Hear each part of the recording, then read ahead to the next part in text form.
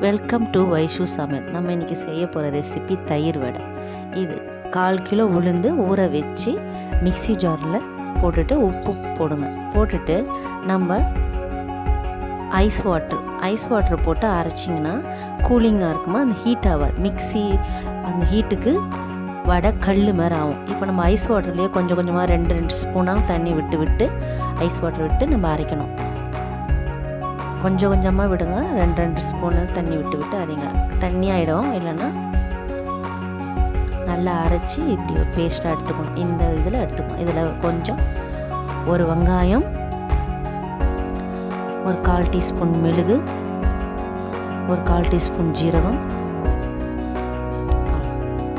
பதத்துக்கு நல்லா வந்து பத்து நிமிஷம் அந்த மாவை வச்சுட்டு அப்புறம் எண்ணெய் காஞ்சனோட தயிர் படைக்கி வடை போடணும். இதுக்கு வெங்காய சட்னி வச்சும் சாப்பிட்டா நல்லா டேஸ்ட்டாக இருக்கும். இந்த வடை பாஞ்ச் வருது பாருங்கள் மிக்சியில் அரைச்சிட்டு இவ்வளோ பஞ்சு போல் இருக்குது பாருங்கள் இப்போ வச்சு வெங்காய சட்னி வச்சு சாப்பிட்டா டேஸ்ட்டாக இருக்கும். இப்போ நம்ம தயிர் வடைக்கு மிக்சி ஜாரில் ஒரு பச்சை மிளகா ஒரு ஸ்பூன் இஞ்சி கொஞ்சம் கொத்தமல்லி கொஞ்சம் கருவேப்பிலை இது இப்போ மிக்சி அரைச்சிக்கணும் அரைப்பா. தண்ணி ஊற்றக்கூடாது அரைச்சிக்கணும். இது மாதிரி குறை குறைப்பாக அரைச்சிக்கணும்.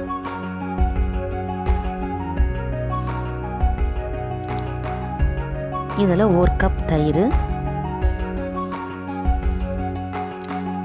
அரை ஸ்பூன் உப்பு முன்னாட்டியே மிக்சி அரைச்சிக்கணும். தண்ணி ஊற்றவே இல்லை. இது தயிர் அரைச்சதை இப்போ லிக்விட் ஆகிருக்கு இப்போ நம்ம ஒரு பாத்திரத்தில் கீ தண்ணி எடுத்து வச்சுக்கணும். அதில் இந்த மெதுவடையை போட்டுடணும்.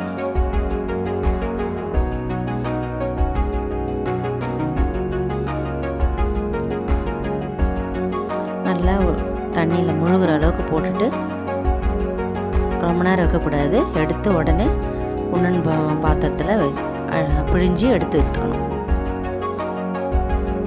நல்லா பிழிஞ்சு எடுத்துடணும். தண்ணி இருக்கக்கூடாது.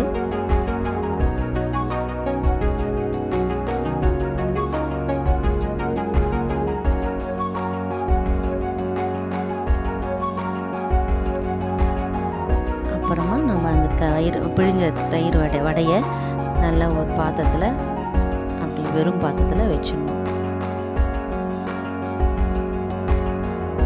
அப்புறம் நம்ம ரெடி பண்ணி வச்ச அந்த தயிர் மசாலாலாம் அரைச்சி வச்சுருந்தோம்ல அதை இதில் ஊற்றணும்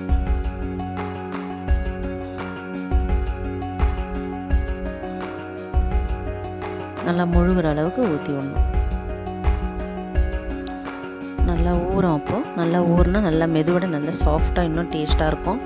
அந்த ஜூஸிங்லாம் அந்த வடைக்குள்ளே போய் நல்லா டேஸ்ட்டாக இருக்கும்.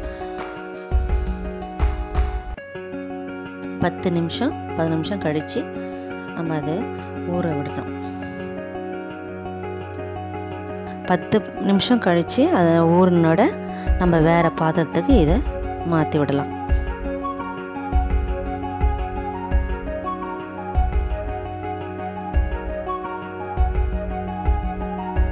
இப்போ நம்ம மெதுவடை ரெடி இது மேலே கொஞ்சம் வெறும் மிளகாத்தூள்.